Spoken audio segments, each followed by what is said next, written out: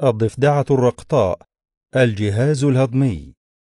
الضفدعة الرقطاء حيوان فقاري من البرمائيات يمتلك جسمها أجهزة تساعدها على العيش في البر والبحر. وتلك الأجهزة هي الجهاز الهضمي والجهاز التنفسي والجهاز الوعائي والجهاز الإخراجي والجهاز العصبي والجهاز التناسلي. يتكون الجهاز الهضمي للضفدعة الرقطاء من القناة الهضمية والغدد الهضمية. الجهاز الهضمي في الضفدعة الرقطاء القناة الهضمية تبدأ القناة الهضمية بالفم ثم التجويف الفموي البلعومي الذي بدوره يتصل بالمريء. مريء الضفدعة الرقطاء قصير ويتصل بالمعدة التي تنتهي بالأمعاء ثم يليها المستقيم ثم تنتهي القناة الهضمية بفتحة المذرق كلواكا والتي تسمى بهذا الاسم لأنها فتحة مشتركة لخروج الفضلات والحيوانات المنوية.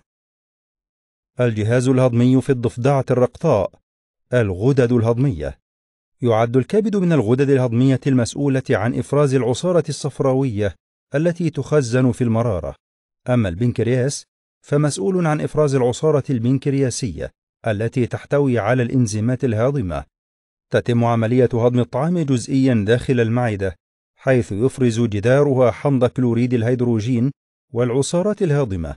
ثم ينتقل الطعام المهضوم جزئيا إلى الاثني عشر التي تستقبل العصارة الصفراوية من المرارة والعصارة البنكرياسية من البنكرياس عبر القناة المرارية.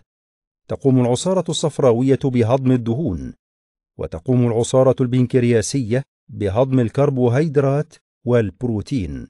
ثم ينتقل الطعام للأمعاء ليتم امتصاص الطعام المهضوم عبر الخملات. أما الطعام غير المهضوم فيمر بالمستقيم ثم يخرج عبر فتحة الشرج خارج الجسم. تعد الضفدعة الرقطاء من آكلات اللحوم فالصغير منها في الحجم يتغذى على الحشرات والبعوض والكبير في الحجم منها يتغذى على الديدان والحشرات الكبيرة وبعض الأنواع الكبيرة منها تتغذى على الفئران والثعابين. تصطاد الضفدعة الرقطاء فريساتها بلسانها الذي يتصل بالجزء الأمامي من فمها ولا يتصل بالجزء الخلفي كما هو الحال في الإنسان. فعندما تصطاد الضفدع فريستها ينطلق لسانها ويلتف حول الفريسة ثم يعود اللسان مرة أخرى بالفريسة ليوصلها لحلق الضفدع. تعد كذلك الضفدعة الرقطاء من الحيوانات التي تمتلك أرجلا خلفية قوية تمكنها من القفز عشرين مرة قدر طول جسمها فتنقض على الفريسة من مسافات بعيدة.